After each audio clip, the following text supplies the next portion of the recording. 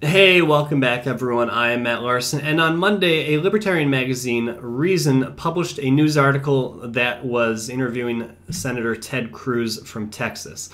In this article, Ted Cruz basically states that he believes President Obama is hurting liberty by not enforcing federal drug laws in the state of Colorado. And it seems like it's out of character for someone like Ted Cruz, who's a strong advocate for smaller limited government, to be pushing more of these federal laws on the American people. Now, if his personal view comes into play and says, you know what, I really don't think that uh, drugs should be illegal, uh, but we need to enforce the federal law it still doesn't really matter because what you are saying is I understand these people voted in the state of Colorado to legalize marijuana, but damn it, I still want the federal law to supersede your state law.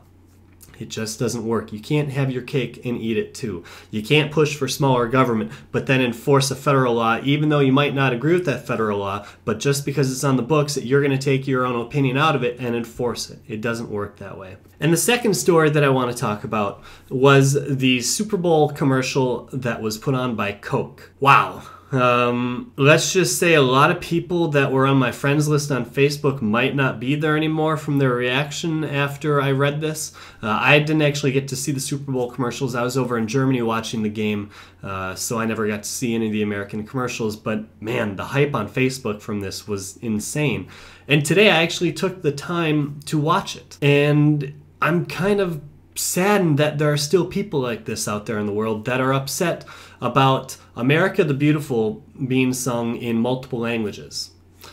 English is not the I guess the commercial language for America. We do not have an actual legal definition language for America. You know how in Germany it would be German, you know how in England it would be English? But in America, we're kind of a melting pot. We're kind of just this large group of people from diverse countries coming together and making America. And that's what makes America so great. So to see people saying, oh uh, man, I'm never to drink Coke again, Pepsi, Pepsi, Pepsi. You know what?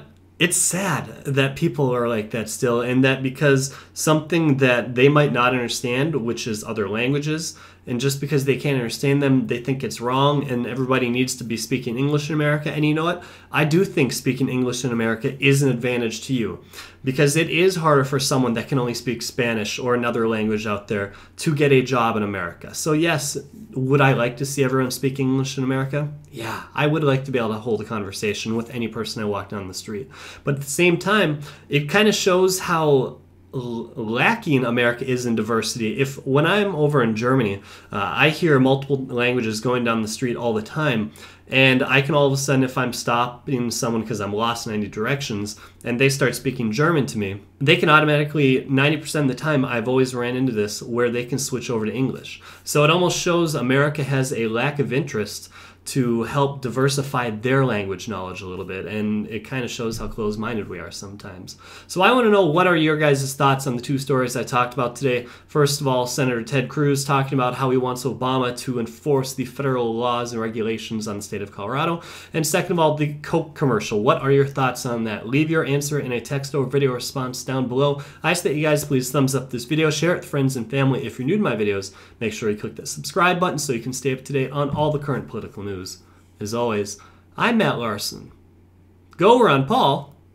Peace.